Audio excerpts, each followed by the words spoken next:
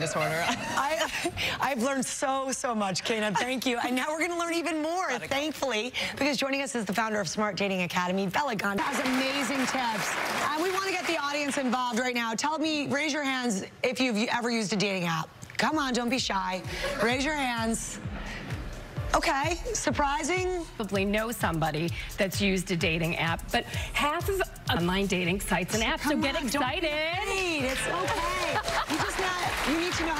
Yeah. And Bela, you were telling us that one of the most important things people don't realize is that profile, what you write down, how you portray yourself is everything.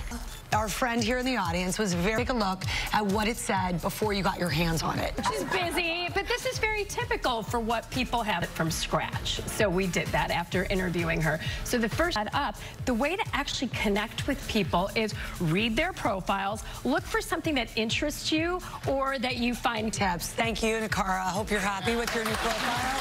We don't have time yet. Great tips, as always, Bela. And you can get all of these and so many more on our website, goodmorningamerica.com. Coming up, Michael Strahan. Good morning, Paula. Good morning. Wusa, did I get it right? I feel better already. Good morning, everyone. It all started when she told Harper's Bazaar that Marilyn Monroe's curves inspired her to feel that her body could be accepted. And then the body shamers showed up.